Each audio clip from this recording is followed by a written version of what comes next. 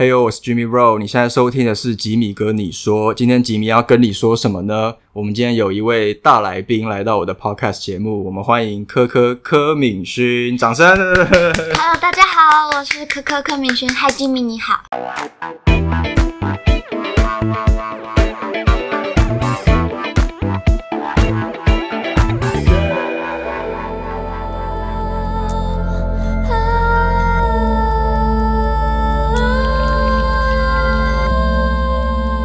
Hello，你好，你好，初次见面，初次见面，请多指教。不要这么客套，不要这么客套。你是我的 Podcast 节目算是第一位真的有歌手来跟我聊聊 Podcast 的，因为之前都是我一个人在介绍分享音乐的哦东西。对，然后终终于有就是本尊现身说法的感觉，活人，活人活人出现。好为我，那就我来帮你解惑。好好好，然后听说科科，你之前有听过我的节目吗？对呀，然后讲一下，这个我不能自己自己讲，就感觉很很不要脸。我的二零二零年的时候，接近那个同志大游行的时候，我的公司的同事他有在听你的节目，然后他就分享你的节目给我听。他说：“嘿，吉米哥这一集节目有介绍我的歌哦，这样子。然后，所以我就听了一下。然后，因为你也刚好有来听我的那个嗯专辑的抢听会，对，然后你在这节目这期节目里面就讲的非常感动，然后我那时候听的时候觉得哇，好想跟这个人真实的聊聊天哦，因为我觉得你好像有听到这首歌里面歌词在写的事情，嗯嗯虽然嗯，说是关于彩虹，然后嗯关于嗯、呃为同志议题发声，虽然说我没有写的那么的白话，但是呢，的确我有点铺陈，嗯那我觉得你有听到，所以我非常的嗯。因为你在听歌会的时候，其实就已经那个时候你就有跟大家分享这首歌，就是因为你参加同志大游行嘛，然后有感而发，然后在某一年把它写下来，二零一二年吧，应该是二零还是一一年？你有印象？树对我说，好像是二零一二年吧。一二年，嗯，所以也是蛮早之前就写好的歌，嗯嗯嗯，嗯，然后到现在才把它完整的编出来，然后发表，算是对。去的芦苇，还你一道彩虹。其实从高中开始就参加同志大游行，然后那时候我们就在争取婚姻平权，然后同志婚姻合法，然后这样子经过了好多年，然后我现在也已经高中毕业，然后早就毕业，我想说你你现在已经高中毕业。早就毕业。，OK OK，所以我就觉得，就是这一路的过程，我觉得走的还蛮蛮辛苦的。然后现在终于有一个很甜美的果实，嗯。然后就有点像这首歌，那酝酿了好多的时日，然后终于把它写下来，浓缩在一首歌所有的心情，嗯所以就蛮感动的。因为你刚刚提到你是听了我那一集的 podcast，然后才认识我嘛，对、啊，然后其实我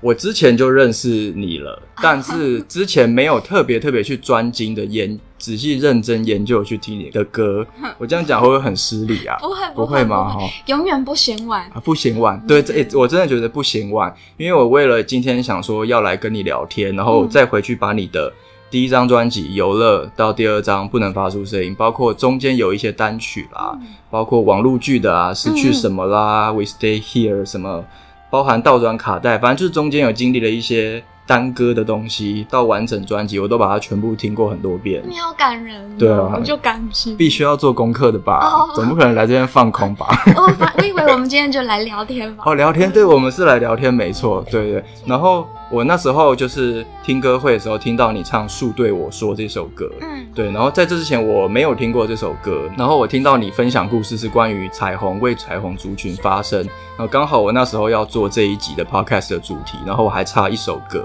嗯，然后觉得哇，这是老天爷冥冥中的冥冥中的安排，就是赐予我这一首歌，刚好放在这个对的位置，这样子。天时地利人和。对对对，然后因为我的听众观众大部分应该百分之九十九点九九九九九都是 gay，都是同志，对，嗯所以他们都我相信这东西对他们俩应该会是有共鸣，而且刚好把你的音乐推广出去，我觉得就是也是好事一件啦。谢谢谢谢嗯你有品味。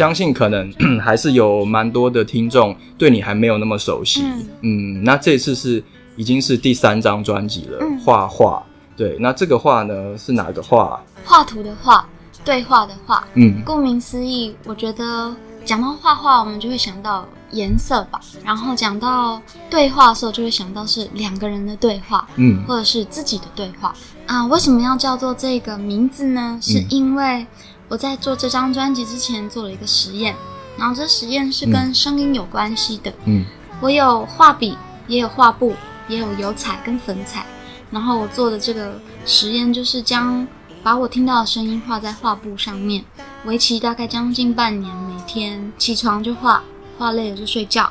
然后在这画画的过程里面，嗯、我听到了很多声音，太阳的声音，太阳的声音是什么啊？对，我觉得有温度哦，这样，哦，下雨的声音，或者是十字路口车流的车流的声音，或者是人走路的声音，呃，醉汉闹事的声音，或者是在半夜非常非常安静的时候，接近凌晨的时候嗯的那一片宁静，我觉得它都是我，嗯、作画这个过程里面一直在问自己的事情。我在问自己说，我可以留下什么呢？我是谁呀、嗯，我的爸爸妈妈之于我，以及家庭到底是什么意义？那关于爱又是什么？那些来到我生命里面的人，又离开了我的生命的人，他们为什么而来？嗯我又能带给他们什么？所以呢，可能是因为这样子，经过不断的自我的对话，所以我啊、产出了这张作品，叫做画画，画图的画，对话的话。希望听歌的人可以在听歌的时候，可以跟自己对话，或者是跟想要产生连接的那些人事物有一个真实的接触。从小到大，你是一个很经常跟自己对话的人，可以这样说。应该说，只能跟自己对话。嗯小时候，嗯，不太没不怎么没有办法跟别人讲话，嗯然后感觉跟别人面对面讲话的时候就很紧张，然后也没有什么人要想跟我说话。我我跟你分享我的故事好了，嗯因为就在上礼拜吧，还是反正就前一阵子，我有在我的 IG 发了一篇文章。我小时候跟你一样，我也是一个不讲话的人，然后我也很害怕讲话，像什么有时候要什么上台演讲，就不用以不要讲到演讲了，光是什么举手发言这种事情，在我小时候是不会发生的事情。然后，然后我就是因为我会很不敢，就是面对别人，所以我小时候其实是一个很爱自言自语的人。我自言自语有时候是会对墙壁讲话，嗯或是我心里会有一个另外一个自我。我觉得有时候会自己跟在心里跟自己讲话，可是有时候，比如说不小心，可能在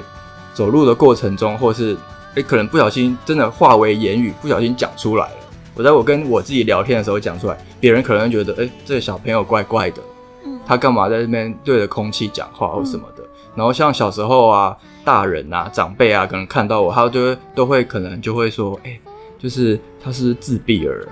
对我嗯小时候也会会这样讲，然后我小时候听到“自闭儿”这三个字，我就会很敏感，嗯我对这三个字很敏感，就是我就觉得我我是自闭儿吗？我真的是自闭儿吗？小时候不懂这些，可是就觉得对这个东西会有一个排斥跟抗拒。这样突然让我想到，就是那个新新学期不是都要上台自我自我介绍？对对对，但我就是那种轮到我的时候，我真的是会就站在台上，然后真的是一个字也讲不出来，嗯就是会呃嗯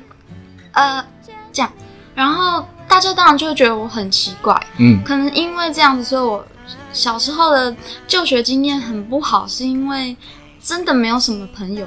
感觉老师也觉得我很奇怪，所以也特别不想照顾我。然后其实我小时候是过动儿，啊，你是过动儿，对我过动就是我没有办法坐在教室的椅子上面太久，嗯。然后我会自己不由自主的站起来，然后就想要跑去教室外面。嗯。那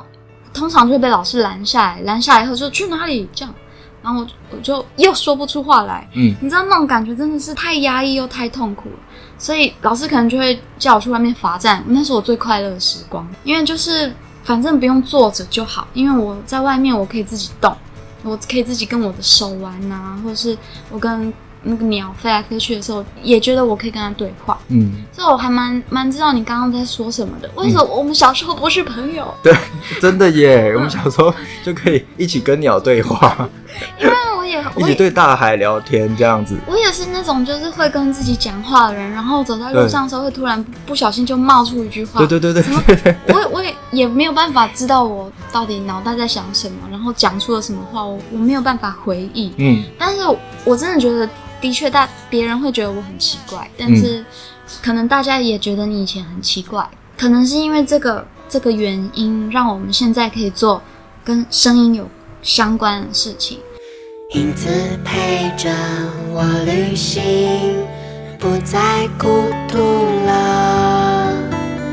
我我觉得好像冥冥之中就是会有一些不知道，我一直觉得我很相信，就是老天爷有一些安排。你今年会发生这一件事情，我觉得就是有它背后发生的意义。为什么这件事情会在此刻降临在你身上？你会遇到这个人，这个人会对你做了这件事情，或是谁说了一句伤害你的话。那这些东西，你当下可能只是会觉得愤怒或难过，但也许多年之后，你再回想，你才会知道为什么。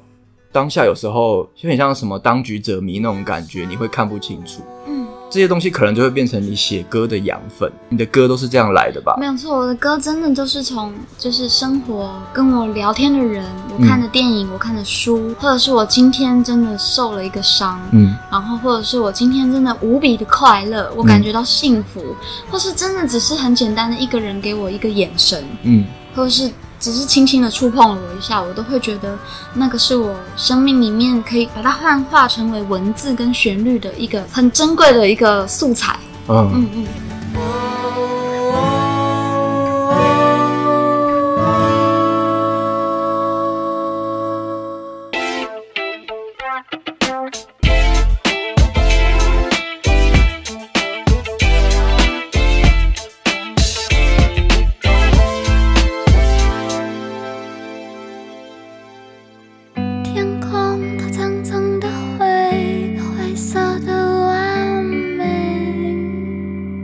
做音乐这件事情其实很奇妙的，就是像你这张专辑有十首歌，但是好像有一半的歌都是不是这两三年写的歌，嗯都是你在这段生命中累积下来。可是有些是以前可能写好了就放着不敢唱的歌，有些是可能觉得还没有到时机或者是之类的，嗯，对不对？对。对啊，你有没有想要特别推荐的歌？如果要这样子讲的话，我觉得这首歌还蛮特别的，因为这首歌叫做《自恋的自虐》。嗯这首歌在可能二零还是二零一一的时候就把它写下来了，然后那个时候这首歌就叫做《Illusion》，嗯跟现在英文歌名是一样的。然后那个时候词曲的架构已经是非常完整的了，编曲也有点像现在的雏形这样。嗯然后，可是你看，相隔了将近快要快要九年还十年的时光对里面，其实这首歌一直藏在我的抽屉里面，我很难想起这首歌，嗯。因为我觉得好像人的状态是这样子，就是你以前做过的事情，但是你可能你不会想要再去回忆它了，就会把它先把它封存在一个小盒子里面嘛，然后等待到了时机成熟。像这次是因为为了想要做画画专辑，我真的有一天早上睡觉半梦半醒，快要起床的那一刹那，突然想起来这首歌的旋律。这是你给我的一切，我与我爱的人。这是你给我的一切。我就突然想到这个，这首呃就是副歌的第一句，嗯然后我就赶快去听这个 demo，听完后我就呵呵呵，好想哭啊，大哭一场。就是哦，这首歌回到我的生命，我觉得我的歌有蛮多的状态是这样子，就是会先写下来，但是它不会很急于要在此刻必须被发表，嗯。反而我会希望它可以经过时间的淬炼，然后也可能是经过了编曲重新填词，然后让这首歌符合现在歌手的心境跟状态，然后把它完成这首歌曲。所以这首歌到了二零一九年在制作《画画》这张专辑的时候，嗯特别找了李格弟老师来帮我写这首歌的词。嗯然后我告诉他了我的故事。其实我有一点，呃，病名的学名叫做人格分裂，嗯，就是多重人格。可能就我里面脑袋会有很多声音，有点像你刚刚讲的那样，所以其实说不定你也有多重人格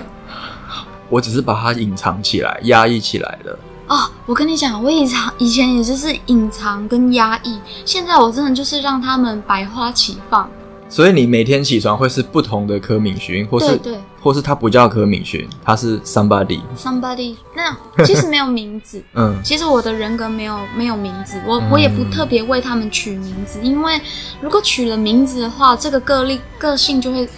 树树立的非常的明显，嗯，所以我会尽嗯量去，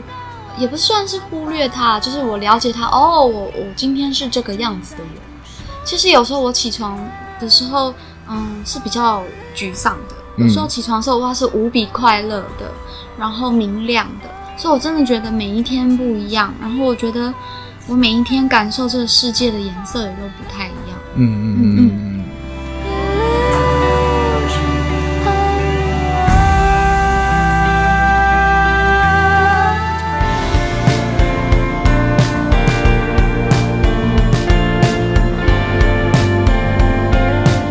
怪我其实听你的歌的时候，我都会觉得你的旋律都会有很有一个共同的特色，就是很怎么讲，很不直接，很迂回。真的，嗯，我觉得很迂回，就是会很很绵延的感觉吧，不知道怎么样具体的形容它。但也许这会又形塑成是属于柯敏勋音乐的一个风格。所以这次像你跟呃序章合作那个抛，嗯那就会让人觉得哦，突然变得好好流行歌哦的那种感觉，嗯就是觉得跟你以前写的歌蛮不一样的。嗯，对对，所以这次你就有点想要彻底就是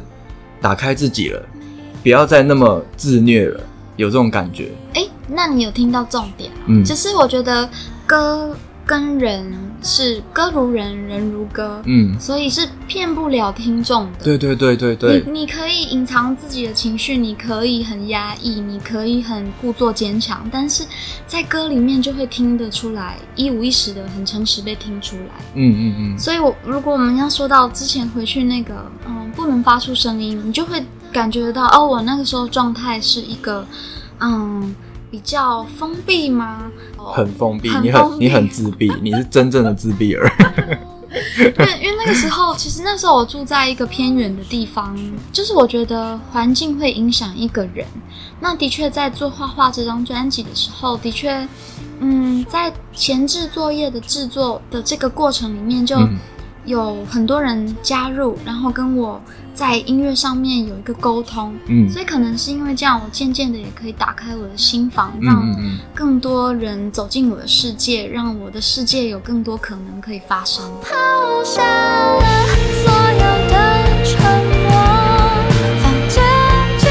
头所以我感觉你这次就是在风格上，就是有真的有让它再更立体一点，再更跳出来一点。包括你，我觉得你的 vocal 好像也有一点进化之类的。你你有特别，比如说唱的部分，你也有想要去让它被更多人听见。你是很会唱歌的人，嗯，这个部分是公司提醒我的。他说：“科科，其实你超会唱，这张要不要让唱推出来一点？”嗯，其实因为在不能发出声音专辑的时候，我把自己定位成音乐家，嗯所以在音乐跟人声的混音的这个阶段，我会把人声往后退一点，让乐器跟人声在同一条线。但是当然，公司提醒我，所以也让我觉得好像我对自己的声音可以再更有自信一些。在唱歌的部分，我觉得我没有说真的什么故意让它超进化还是什么的，可是嗯我的确现在很喜欢自己的声音，虽然说有时候很细、很尖，很像很像鸡在叫，但是 但是还没有了，没有像鸡在，没有没有，我真的觉得我不要这样自贬自己啦。鸡在叫也很可爱呀、啊，可爱的小鸡，黄色小鸡，对，就是那种声音很细，其实我嗯以前不喜欢，我懂，嗯。但是我现在好像似乎可以嗯、全面性的接受我自己的种种的样貌，嗯，就有点像是我的种种人格，我都可以接受，嗯我才有办法真的喜欢真正的自己。呃，换而言之，我现在真的蛮喜欢我自己的声音，是因为我觉得我现在人的脑袋的状态跟身体的连接还蛮连接在一起的。嗯就是当我怎么想，我想要唱什么样子的声音的时候，我的声音跟我的声带可以辅助我，嗯，很不用想的，不用想太多就可以直接唱出来。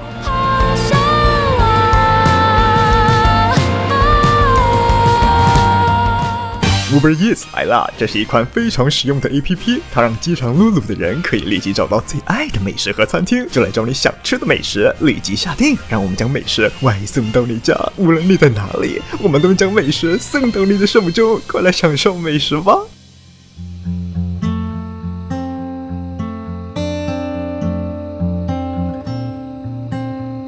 像我有时候看有些电影，然后幕后花絮，他们就会说：“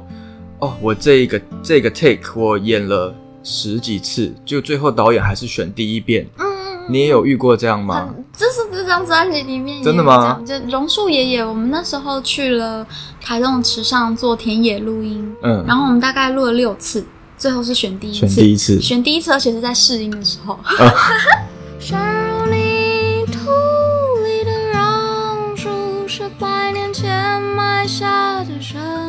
所以专辑里版本其实是试音，在试音。对啊，就但是试音的时候其实就是最自然的。嗯嗯嗯对，嗯，所以我们那那一个那一个版本听起来最自然，然后情感的呃流动也是最舒服的，所以就后来选了第一、第一次录的。对啊，因为我觉得现在其实什么电脑修音后置那么技术已经那么厉害了。说真的啦，你就算当下唱的不好，靠后置都马可以弄到想要的样子。对可是我觉得那就不是真实的，嗯这个你就不是在真实的投递你的灵魂在演唱这首歌。这这就是我最在意的地方。你最在意这个我最？在意就是真实这件事情，就是因为现在的社会很快速，嗯然后大家都用网网际网络。对，现在还有人在讲网际网路吗？没有，啊，我你很 old school 哎、什么网际网路 还我还，IE 我还拨接上线，modern modern 的 拨接器，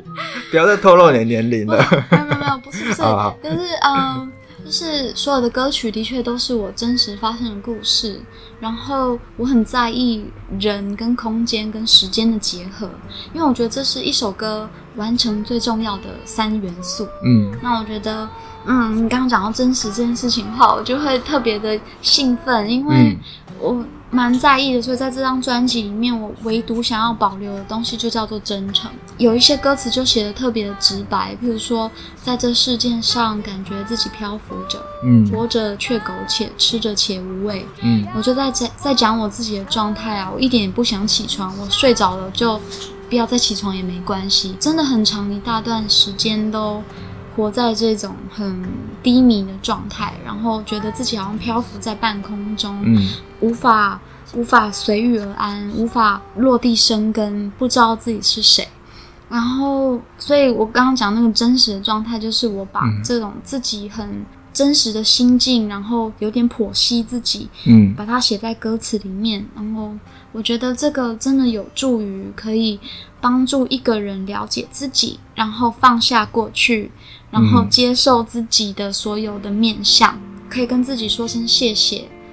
嗯，诸如此类的。所以我觉得这是真实的一个很好的途径。在这世界上，感觉自己漂浮着，活着却苟且，吃着且无味。我自己觉得，我听你的分享，我就会想到，就是在你要经历很长的一段时间之后，你才能够从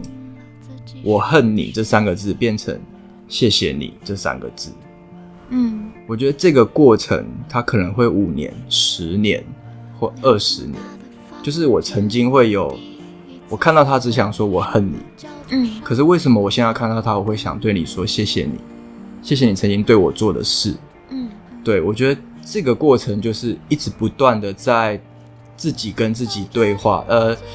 也不一定是对话，就是你要你真的要经历抽离过了一段时间之后，感受到你的不同的人事物的生命的风景之后，再回头看那些东西，你会发现，它其实有帮了你什么，它让你成为现在的你是有原因的。能留下什么呢？有我觉得有点像那个毛毛虫，然后结成蛹，再破蛹而出的这个过程吧。就是如果你受了一点伤，嗯就会想要把自己锁在一个壳里面，嗯然后真的要等待你好像思考成熟了，或者是你的历练已经嗯不会这么纠结了，你才会想要破蛹而出。从那个嗯我恨你，你去死吧！对对对，你去死吧！我想再见到你，你为什么要这样对我？你给我消失在我的生命里。好，然后一直走到这个过程，可能是如果可以的话，我想请你，你也静一静，我也静一静，这样子。好，那在这个过程过了之后呢，就会突然觉得啊，其实我也还蛮谢谢这个人的啊、他带给我许许多多的养分，然后之前也曾经是非常非常爱我的，虽然说伤害了我，但是有爱就会有恨，有恨也会有爱，嗯然后你会保护这个人，但是你同时可能也会不小心伤害这个人，我觉得是同时并进的。所以，嗯，好，等到过了这个谢谢你之后呢，我觉得下一个阶段可能是请原谅我。嗯那我觉得这个请原谅我，反而是我觉得可以跟自己讲的是，嗯请原谅自己觉得好像被伤害了。嗯我觉得这个超难的。我觉得我刚刚经历这个，所以我觉得热腾腾的想要跟你分享，就是我真的嗯，告诉自己说我想要原谅了自己，觉得被伤害了这个念头。对，就是有点像我们抛这首歌的那个音乐录影带，有讨论到一个议题是就是校园的霸凌。那其实这是我的小时候真实的故事，就想跟我们刚刚我们有讲到，我们小时候这么怪，这么怪，人家就会故意想要弄你。小时候也不知道那叫霸凌啦，嗯只是觉得哦，为什么他们都要叫我不要来学校？我也不想来啊，对啊。但是过了过了那么久以后，其实我真的很长一段时间蛮痛苦的，就会觉得啊，我小时候没有朋友，老师也不喜欢我，然后我也不喜欢学校，我恨那些欺负我的人，嗯伸脚绊倒我的人，弄坏我的课桌椅的人，嗯然后把我的鞋子丢的乱七八糟的那些人，我真的很讨厌这些人。但是，嗯，过了好一段时间之后，就是因为拍了《抛》这首歌的音乐录影带，然后让我重新去面对这个事件的时候，我发现，哦，我可以原谅这个以前我自己觉得被伤害的念头。嗯嗯，能留下什么呢？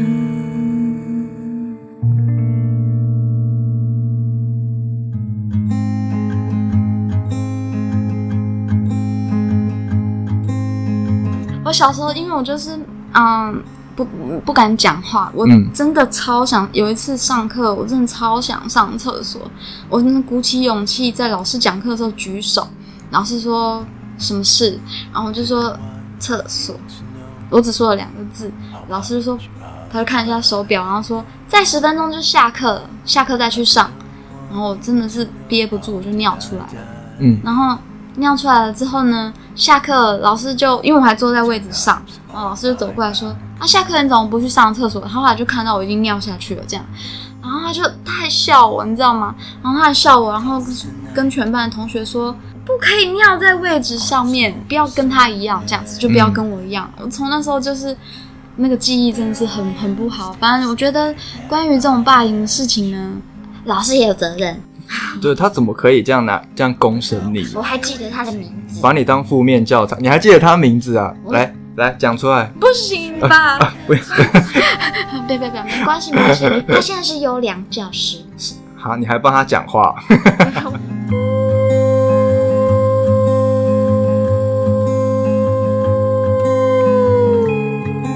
好，那我们来交换秘密好了，因为你都讲了，嗯。但但你知道吗？我们的童年真的几乎是一模一样哎、因为我也发生过尿裤子这件事情 Oh 而且 好，我也记得有一次也是很想尿，然后尿出来。但我要讲的是另外一次，是我很想大号，那时候也是快要下课，嗯。自己讲觉得有点嘴软，就是很想大号。然后是已经下课钟响了，我当然就是手刀奔去厕所，可是就在好像马桶放下的那最后一秒来不及了，嗯，就是裤子还没有脱，然后就来不及了。然后结果不就是整个裤子都全部都是这样子，然后我就硬着头皮回教室上下一节课，就是但是裤子的里面都是，然后这怎么样？真的是很很 terrible 的故事真的。然后上课上上一上，然后就会有同学说：“哎、谁踩到狗屎啊？臭臭的，教室臭臭的，大家看一下，大家都看一下谁大家的鞋子。”然后我还假装就是也举鞋子看一下啊，哦，嗯，不是我、啊，然后就有人就是沿着走道一排一排开始在闻，因为想说味道是从哪里传出来的这，么鸡婆？很鸡婆，我真的想杀了他。然后最后就经过旁边说：“哎、这里最重。” 然后就哦被发现了，哦，对，然后就老师就通知我家长来带裤子来，嗯对我们发生一样的事情。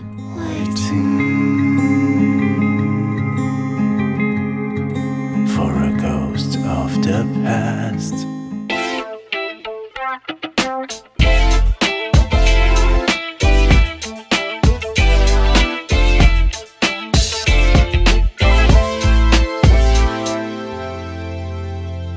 其实今天我最想聊的就是《树对你说》这一首歌，哦因为有很嗯很多我的呃听众或观众，他们可能从我这边认识到你，可能也是因为我推荐了那一首歌，然后我也记得有有人也有留言说谢谢你的推荐，然后他去听了这首歌，觉得很感动，然后也有疗愈到他，帮助到他，嗯。对，然后其实像我自己。我的 YouTube，哎、你之前只有听我听过我那一集的 Podcast 吗？嗯对。没关系，反正因为我大概在三年前吧，两三年前，我有拍一支关于聊婚姻平权的影片，嗯。对，然后我就有在影片里面讲我个人出柜的故事，嗯。对，一直到现在陆续都会有人去看到那支影片，然后之后来留言，嗯。然后就说很谢谢你什么的啊，然后你很勇敢什么的啊，替你高兴什么的，希望我我也可以怎么样怎么样的，对，然后所以我就因此累积了很多 同志的观众听众，因为我觉得无形中我变成是他们的一个榜样。变成是他们的一个 icon 的感觉，在某一种层面是他们心灵的一个支持。嗯，因为我我都一直很支持这件事情，嗯嗯，对，所以我就希望可以给你们勇气。对，哎，你的歌，对对对对对，就是这种感觉。所以那时候我其实听到你分享树对我说的时候，我也就觉得哇，真的很很有意义。所以你要不要聊聊看当初写这首歌的心境吗？好，写这首歌的心境，那个时候只是为了想要，很单纯，只是为了想要自己可以很诚实、嗯很大方的说出来我自己的性向，嗯，因为我觉得其实我现在是已经可以诚实大方。我可以，我可以，我可以。好好好，我来娓娓道来，又来娓娓道来。啊好好，太好，我们今天是变成两个小时的 超长 podcast。因为我就觉得那种感觉很不好，闷嗯闷坏了。就是，譬如说我第一次跟我爸跟我爸妈说，呃，爸爸妈妈，我我喜欢女生哦，这样，然后我爸真的是暴怒、欸，嗯。他暴怒到有一点想要把我踢出家门，嗯。然后他说：“你再给我这样，我北来的话，我们就断绝父女关系。”这样。很恐怖、哦，因为我我爸很很很很嗯。传统的传统，嗯。然后他又是警察，哦所以我就哦我看很真的很恐怖。好，那所以我就皮皮喘，所以这是我第一次想，第一次觉得啊，我好像可以跟我爸妈讲这件事情。嗯结果他们超级不支持的，所以呢，有一点就像是有点好把这这份心情永远尘封在我的心里面。崎岖的路会换你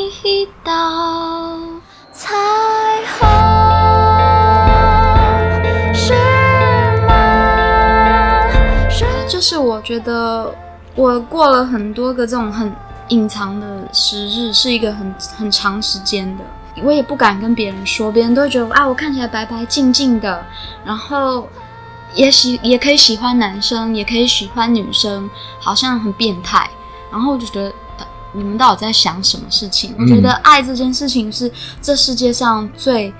最美妙的事情，该怎么讲？因为你会因为爱，然后你的面相会改变，你会变得很漂亮，然后你会因为爱而去，不是只有爱人，你也会爱小动物，你也会爱屋及乌，嗯你也会懂得怎么样去关心别人。最重要的爱是什么？你要先爱自己。那我觉得，我刚刚说我过了很长一段时间，可能十多年的隐藏自己的性向，因为我觉得从别人给我的标签就是，呃，怎么会喜欢男生也喜欢女生，好恶心哦！什么他们就会贴很奇怪的标标签，什么很不好听耶，这个可以讲吗？我看看，如果不不方便，我就帮你逼，啊，他们说什么双头龙啊什么的，这种好逼掉，我会 逼掉。莫名其妙，你你有你因为爱一个人，你要遭受这么大的抨击、对，评断，然后我我只记得那时候就是反正我觉得这种感觉很不舒服吧，就是要隐藏自己喜欢一个人，然后还要骗家里的人说哦，我我现在交往的对象是一位男性，嗯，就我觉得何必呢？后来我觉得，虽然说我现在可能已经也很久一段时间没有跟女生交往了，但是但是其实我一直知道我的生理的需求，或者是我知道我自己啊、走在路上第一眼会看的是女生，对，嗯嗯嗯，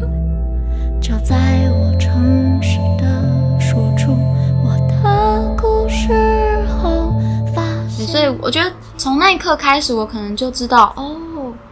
原来原来我对男生是有点排斥的。嗯其实我以前是真的没办法喜欢男生，没有办法靠近男生的。我嗯，被男生欺负过啊，对，这样子，嗯所以我对男生真的有一点敬而远之的这个这个距离。嗯嗯，但是到了后来，的确有一些比较好的男生，让我改变了我对他们的看法，也也改变了我对众男性们的那叫什么有色眼镜。嗯嗯嗯是是异男吗？还是是 gay 的好闺蜜？啊，gay 的闺蜜的话真的是 perfect，哦，perfect，对他们就是最懂我的人。对 嗯对对对对，你就是我的心灵导师。这世界上还是有很多有色眼镜，让所有有爱的人有所隔阂，然后让他们没有办法做自己。所以我觉得这首歌让我懂得怎么帮自己坦率的说出来自己的想法。那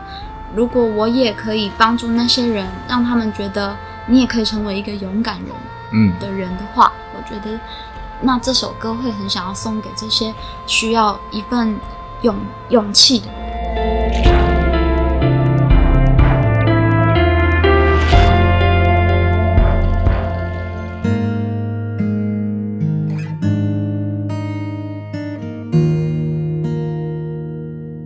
第一张专辑《游乐》的时候，有一首歌叫做《等你拥有勇气》，那个“你”是女字旁。对对对对对，对，其实那个时候我就默默的在我的自己的作品里面放上这个，哦，对，所以那首歌其实就是献给当时的另外一半嘛，当时那个感觉抱歉的另外一半，伤害你的还是你伤害他的？我觉得我觉得我伤害他了。啊哈，你真是不 OK 啊你！我，嗯，对对，我又不，我不知道发生什么事，我这边干嘛在这边责怪你？好，我可以说啊，我可以说啊，你要说吗？都都可以，都可因为你。知道讲，每次一讲，每你每讲一次，你就是原谅自己一次。嗯，所以，如果我今天在这里，可以就是借借由这个所有听众朋友们的祝福，以及吉米哥的祝福，大概我就可以展翅飞翔。好，来来来来，我们给你力量，给你勇气。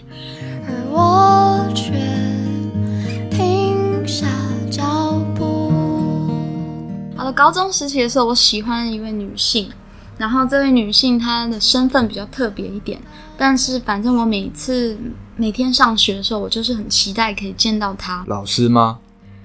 不是老师，教官 啊，是教官。女教官。对，哇塞，刺激耶！好 drama 哦。这可以讲吗？应该没关系吧？哎，可以可以，不管我就是讲，我做我自己啊。对我喜欢上，就是我每天进校门的时候，我就可以看到他，我就宛如见到，你知道 啊，这一天的天啊，这根本就是什么偶像剧情节啊！就是他在大门口在那边检查制服的时候，然后你们有四目相交的时候，露出诡异的微笑，这样子吗？没有错，就是这样。所以你知道，每次上学，我我是不喜真的不喜欢上学，我会翘课的人，我会上学就是为了他。然后我就是走进校门口，我就觉得啊，一阵阳光迎迎面而来这样子，嗯所以我就看到他的笑容，我就觉得哇，他好可爱哦，突然变痴女。没有，但是就是嗯，我们后来你说那个就是一份就是甜蜜的笑，然后只有我们自己知道这这件事情呢。嗯后来是真的是因为我们感觉好像有开始在在谈一个关系吗？有点就是蛮进一步的。然后我们会交换日记，嗯，我跟女教官交换日记。哇 这真的是太棒了，这个故事。哎，他到底大我几岁？我到现在也太精彩。了，难怪你刚刚说是不分性别、不分年龄。然后呢，其实我觉得是这样子，就是其实我是帮助他出轨的人。嗯嗯嗯他以前真的很隐藏他自己，嗯然后他的父母亲也都会叫他去相亲。嗯嗯，然后我就是，因可能是因为我不知道是不是这样，就是反正就是我的出现让他，嗯，他在日记里面写的，他就是，嗯，第一次知道自己喜也可以喜欢女生，嗯也喜欢女生，愿意勇敢的说出来这件事情。然后我们就这样子很好很好一段时间。突然有一天我不来上课，我不去上课，嗯然后他就也他打电话我也不接，然后嗯我就似乎就是有点想要突然就这样子断了联系。后来又有一天我去上课了，然后有一个男生载我去学校上课，他看到，嗯。从那个之后他开始对我避而远之，他就是嗯。完全不理我，嗯。然后不跟我讲话，然后我如果进校门他也故意不看我，然后我如果去教官室找他，然后他就是真的是教官，他就是那个身份就完全是教官，已经完全没有情感了。嗯。我们躲在城市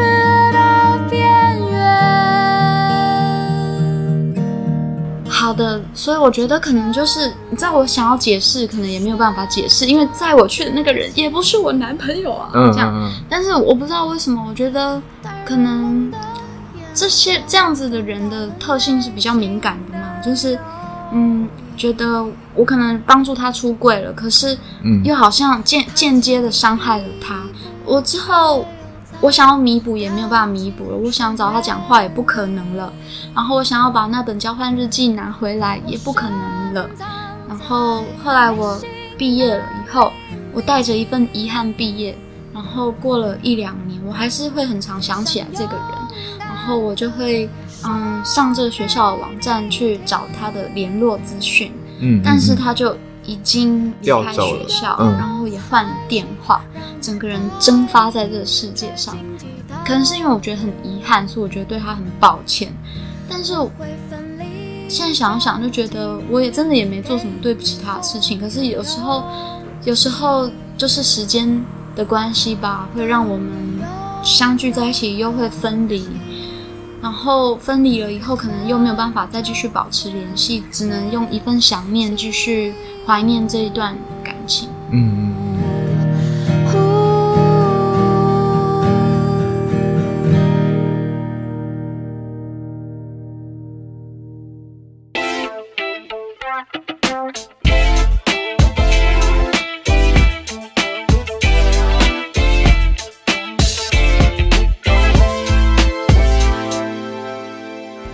好哇，不知不觉我们今天聊聊了好多专辑以外的故事哦，可是都是都是很值得分享的故事。反正也都是这个专辑在做的时候一路走来的点点滴滴。嗯嗯嗯，也是这些经验才成就了这张画画专辑啊。没错，里面的养分都是来自于过去的这一些故事。嗯嗯嗯，画画这张专辑，它本来就是一个属于沟通的一个歌曲，嗯无论是跟自己沟通也好，还是跟另外一个人沟通也好，或是你自己跟大自然之间的沟通。嗯嗯呃，我觉得这张专辑里面只要有一首歌。可以在我们的生命里面搭起一个桥梁，我觉得它就是一个缘分，嗯也是一个我们的生命的流。那呃，我也不知道我什么时候可以流进你们的生命里面，我也不知道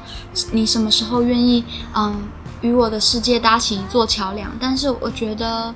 嗯，我想要推荐你们听。抛下了所有的承诺，反正抛这这首歌，嗯。因为我觉得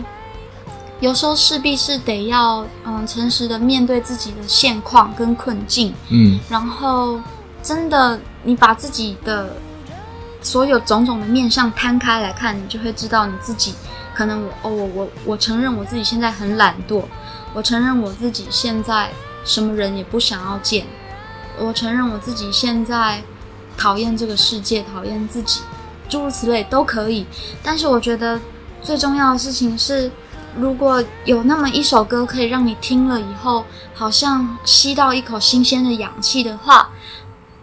我会想要推荐《抛》这首歌，是因为我写下来的时候，我觉得我松开了我的拳头，嗯嗯，我觉得我好像终于可以好好的跟过去的自己说一声谢谢，谢谢你陪伴我。然后虽然说我以前很负面，虽然说我以前没有办法说出来我自己内心想要讲的真实的话，但是等到我们这样子回头看的时候，就会发现啊，是千千万万个以前的自己才有办法造就了现在的这个我。嗯所以，请抛下你所有的执念，抛下你所有的过去的自己，然后试着抛开你的双手，你才有办法拥抱自己，再拥抱你所爱的人。嗯嗯嗯，那我们今天最后呢，就就一段就好了，不用整首了哈。那就让科科为大家清唱这一首《抛》，作为今天完美的 ending。我抛出对世界的疑惑，一夜翻过未知的入口，过去回忆的沙漏流过你我，快乐未必是拥有。我抛开了拥抱的双手，奔向尽头，一整片辽阔。此刻我和你拥有透气时空，无畏最后的最后，抛下我，我抛下我。